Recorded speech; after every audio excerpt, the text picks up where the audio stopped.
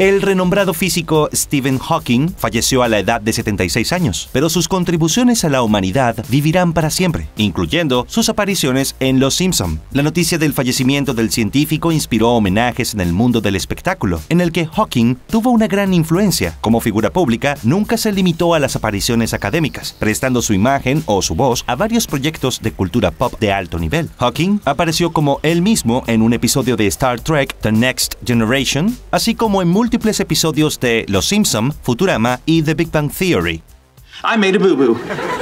And I gave it to Stephen Hawking.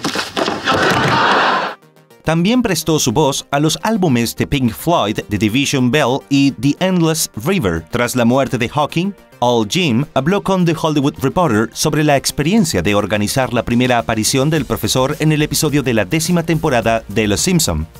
If you are looking for trouble, you found it. Jim explicó, lo que hacíamos era enviarle el guion y luego él lo grababa a través de su máquina, así que era su voz, su programa de audio especial. Venía al estudio cuando estaba en Estados Unidos, pero nunca iba a grabar. En sus tres apariciones en el programa, Hawking estuvo dispuesto a aceptar casi todo lo que los guionistas querían que dijera, excepto una cosa en su primer episodio que le molestó. Jim dijo, dijo en un momento dado que no quería estar ebrio en la pantalla. Esa fue la única nota que nos dio. No le importaba tomarse una cerveza con Homero en el bar de Moe, pero no más.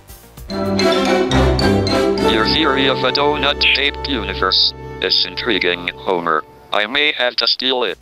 La primera aparición de Hawking, en la que Homero lo confundió con el magnate de Hustler Larry Flint, se produjo gracias a una conexión personal. La hija de Hawking, Lucy, conocía a uno de los guionistas del programa, que quería escribir un episodio con él. I accepted immediately because it would be fun and because The Simpsons is the best thing on American television.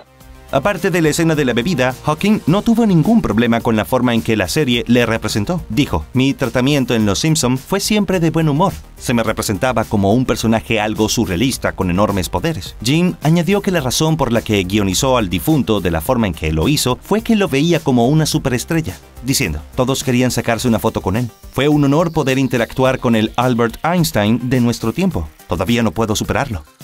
Time for this.